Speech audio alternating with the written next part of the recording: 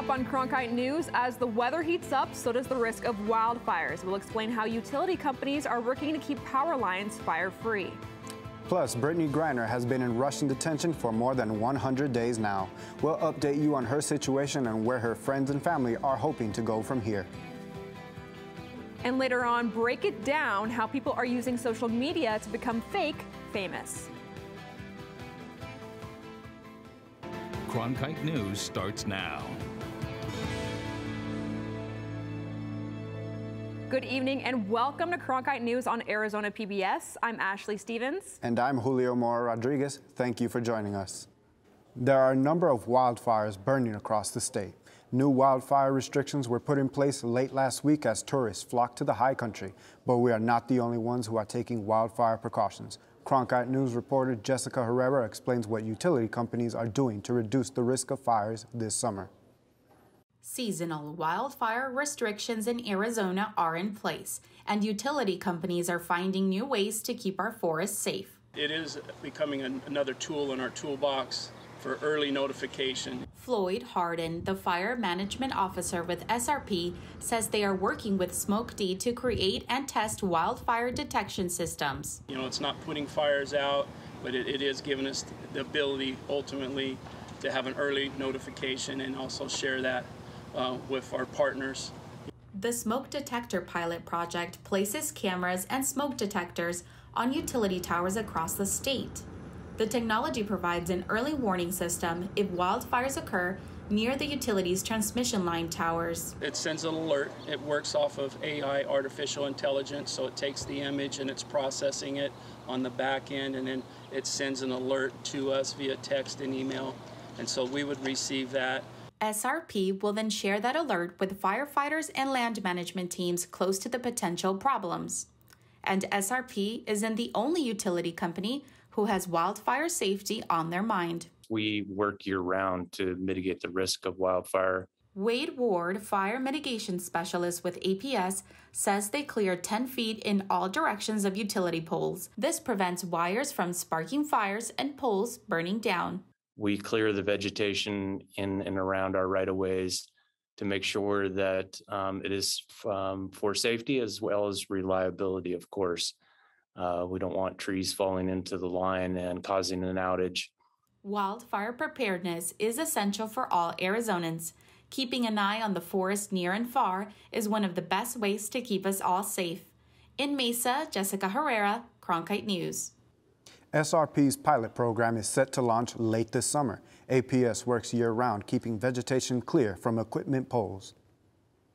Schools across Arizona may be getting quite the windfall soon, but there's a problem. They might not be able to do anything with it. According to the Arizona Republic, that windfall could be 800 to 900 million dollars a year. Now here's the problem. There's a constitutional limit on how much the educational system is able to spend. That limit is what nearly brought the school year to a halt in January. The hope is that lawmakers will resolve the issue this summer over budget talks. But up until now, according to Senate President Karen Fann, they have not had time to talk about it. Avondale and Goodyear are thinking the future of public transportation may be more micro than mass. A new Uber-like transportation service would allow people to book a ride through an app or by calling a dispatch service. One Goodyear council member sees this as a great alternative for cities where bus routes are unable to reach the sprawling city outskirts. Some experts believe that the solution isn't in microtransit programs, but better city planning that focuses on denser city centers instead of sprawl. The change comes as bus ridership and revenue have failed to return to normal since the start of the pandemic. Avondale and Goodyear will both keep their current Valley Metro bus routes and hope to have pilot programs up and running later this year. Boating and other water traffic has, has been increasing with the rise in summer temperatures. But with increased traffic comes increased risk. Last weekend marked the sixth death in six weeks on Lake Pleasant. Maricopa County Sheriff's Office deputies say most of the deaths are preventable. They have since taken to social media begging lakegoers to be safe. On Twitter, Deputy Rob Mass reminded people to not use tubes on the lake as it is not a life-saving device. Here in Arizona, children under 12 are required to wear life jackets, but officials suggest it to everyone. Saturday marked 100 days since Phoenix Mercury center Brittney Griner was detained by Russian officials. Now her teammates and family are growing restless about the U.S. doing more to bring her home.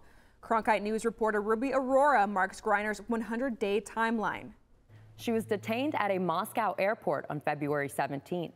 After months of silence for fear of hurting Griner's case, friends and family are starting to speak out.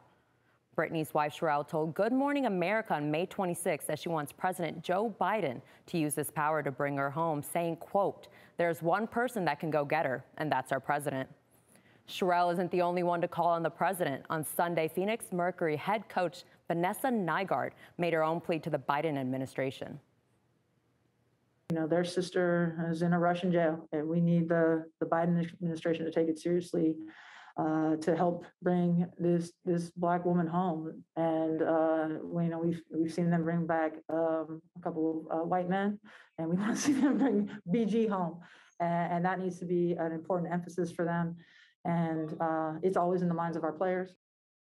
NBA Commissioner Adam Silver has also sensed the urgency of Russia's prolonged detainment of Griner and has been working closely with WNBA Commissioner Cathy Engelbert Silver said that they have, quote, been in touch with the White House, the State Department, hostage negotiators, every level of government, and also through private sectors as well.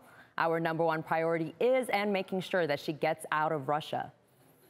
According to multiple media outlets, the Biden administration is considering a prisoner exchange, but talks are in the early stages. There's a lot of these prisoner exchanges that go on all the time between countries all over the world, and um, you know, I, I think it's a dangerous situation when we're dealing with countries with hostile leaders um, that don't see uh, the worldview similar to us. Uh, I'm grateful that there's a discussion to bring to bring BG home.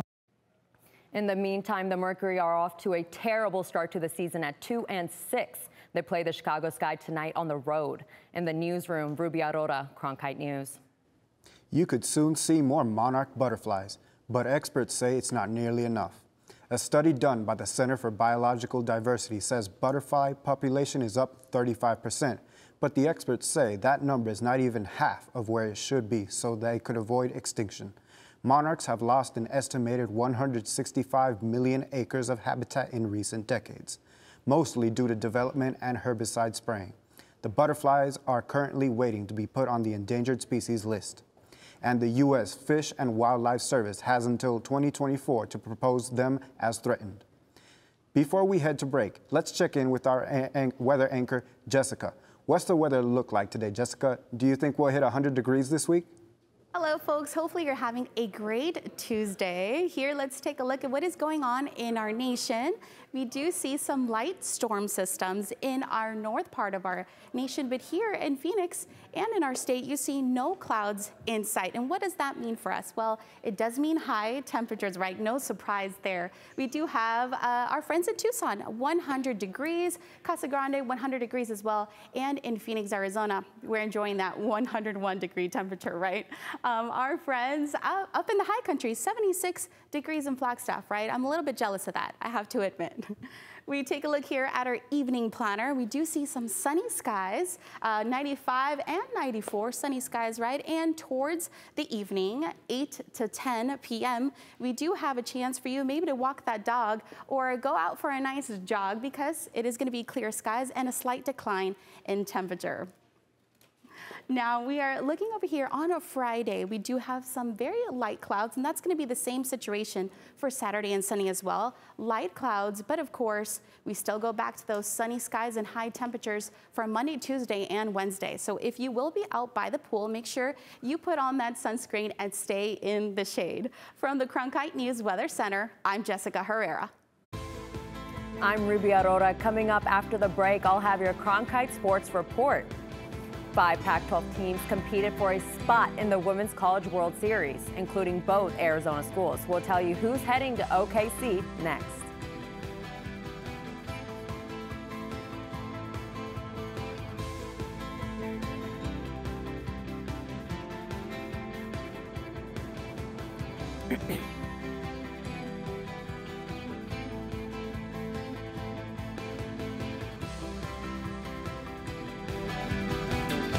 Your favorite member benefit is getting better. and bigger. This is wonderful. Over the next year, Passport is adding new shows and doubling the number of episodes for you to stream. They give us all that they've got. From your favorite cooking and travel series. Even the stairs are breathtaking. To history specials and award winning documentaries. Better and bigger. That really is the fun part. Stream on any device with Passport on the PBS Video app. Every day I wake up, my first thought is how can I serve this community?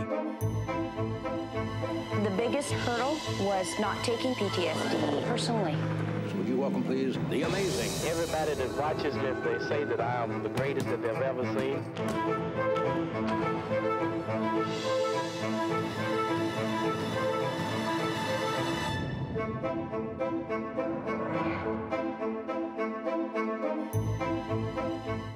And that's the way it is. Monday, September. Newscasting has changed a lot since the time of Walter Cronkite.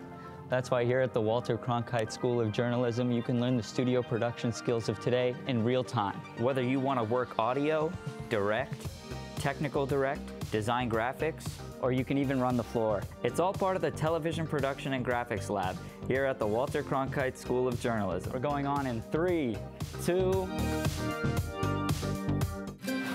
Stream the best of PBS on any device with the PBS Video app.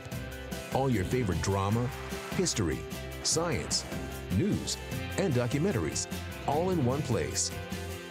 Watch your PBS station live or catch up on the shows you missed. Discover new favorites from PBS and locally produced shows from your station.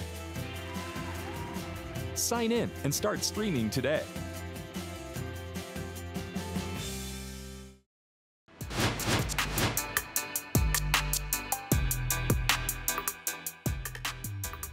Welcome back to Cronkite News. I'm Ruby Aurora, and this is your Cronkite Sports Report.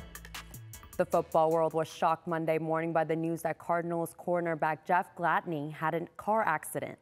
Gladney signed with the Cardinals this past March. The team issued a statement expressing sympathy to Gladney's family. College teammate Omega Stalwart says he'll remember Gladney as a fun-loving presence in the locker room. He was just a jokester, man. He was funny. Uh, you know, a lot of those older guys on the team, he was, upperclassman while I was an underclassman. So a lot of those guys just knew how to have a good time, how to make you laugh. Uh, didn't take themselves too seriously. The Women's College World Series kicks off in two days, and three Pac-12 teams will be in Oklahoma City in hopes of bringing home this year's title. Cronkite News reporter Madison Thomas was at the Super Regionals, where the powerhouses have advanced, and Arizona is putting on a super show. Arizona hasn't lost a game yet. They beat Mississippi State to advance to the Women's College World Series. They are the only unseeded team in the tournament to go undefeated and survive to the final eight. They finished their regular season with a losing conference record of 8 and 16, but pitcher Devyn Netz said they got inspiration from one of their coaches heading into the tournament. And she said, "You know, this is the best part of um, season." And I was like, "What do you mean? We just had a losing season in Pac-12. Like it was horrible." She said, "No, everyone has a clean slate," and I think that was the best way to put it. Is that everyone, every team, every player, every coach has a clean slate. Arizona State lost their series to Northwestern. Oregon State beat Stanford, advancing to their first Women's College World Series in 16 years. UCLA, the softball powerhouse, beat a young Duke program. While Duke was unable to win a game in this series, the two teams went toe to toe for the majority of both games. This was met with excited fans that packed both sides of the stands. And I think uh, playing in like such a historically successful program like UCLA, you're almost expected to be in OKC every year, but obviously nothing's guaranteed. In Los Angeles, Madison Thomas, Cronkite News.